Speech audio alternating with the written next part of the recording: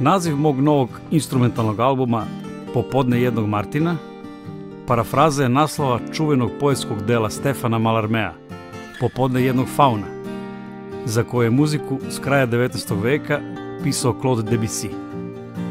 Početkom 20. veka, 1912. godine, delo je izvedeno na sceni u Parizu u koreografiji čuvenog baletskog igrača Vaslava Nižinskog.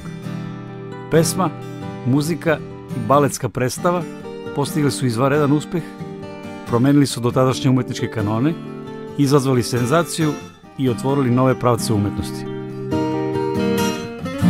Veliki uzlet i domet ljudske umetničke misli i osvajanje umetničkih sloboda toga doba nisu sprečili izbijanje velikog rata nepune dve godine kasnije, 1914.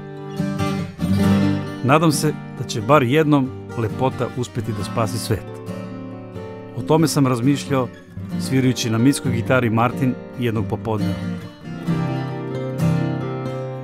Kompozicije sa ovog albuma nemaju dodirni tačaka sa muzičkim delom Kloda Debussija i konceptom impresionizma u muzici. Odnose se samo svojim naslovima na stihove iz pesme Popodne jednog fauna Stefana Malarmea.